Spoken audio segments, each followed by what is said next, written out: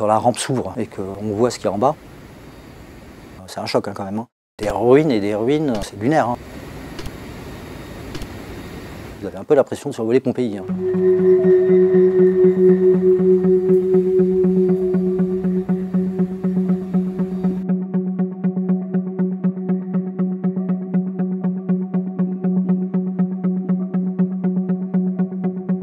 L'opération était un défi logistique.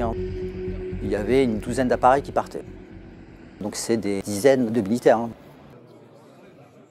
L'autre souci, c'est la coopération avec euh, Israël, puisque c'est les Israéliens qui autorisent l'accès à leur espace aérien, bien que la bande de Gaza n'est pas censée faire partie de leur espace aérien, mais en tout cas, il faut quand même traverser l'espace aérien israélien, sachant que l'espace aérien au-dessus de la bande de Gaza, c'est une zone de guerre. Théoriquement, la bande de Gaza est à une demi-heure de vol, mais euh, l'avion faisait des tours autour de la bande de Gaza ou euh, au-dessus de la Méditerranée, dans l'attente, je pense, de l'autorisation israélienne pour piquer et descendre, pour pouvoir larguer. Donc c'est des heures passées en l'air, et puis c'est deux minutes en fait de passage hein, au-dessus de la bande de Gaza Deux minutes, dont une séquence de 20 secondes de largage.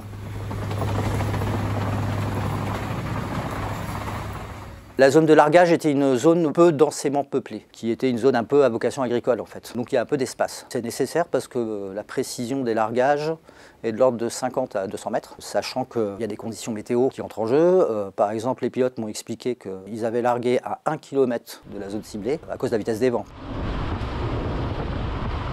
Ce qu'il faut prendre en compte, c'est que c'est des palettes d'une tonne hein, quand même qui sont larguées. Il y a des parachutes, mais se pose quand même la question de ce qui est en bas. Par exemple, euh, ils ont effectué euh, au moins un vol dans le sud de la bande de Gaza. Ce qui les avait énormément inquiétés, c'est qu'en dessous, ils voyaient une mer de tentes, puisqu'il y a un million de réfugiés euh, autour de la ville de Rafah. Les pilotes disaient, s'il y a une palette qui tombe sur une tente, où il y a des gens qui dorment, où il y a des enfants, c'est l'accident assuré.